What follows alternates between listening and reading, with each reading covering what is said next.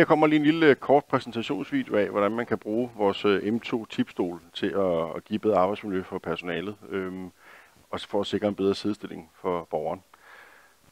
I det her tilfælde, der styrer brugeren selv øh, liften. Det er jo meget dejligt belejligt. Øhm, vi tager ham herover til stolen. Det jeg vil prøve at vise, det er bare vigtigheden af at sikre sig, at den her vinkel her, den matcher med den her vinkel, der er her på stolen.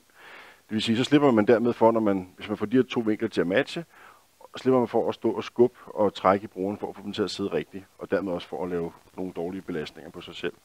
Så vi tipper stolen. Godt tilbage. Heller for meget end for lidt, for at sikre sig, at tyndekraften ligesom gør arbejdet for en. Trækker borgeren tilbage, og han er så flink, at han igen hjælper med at, at sænke stolen.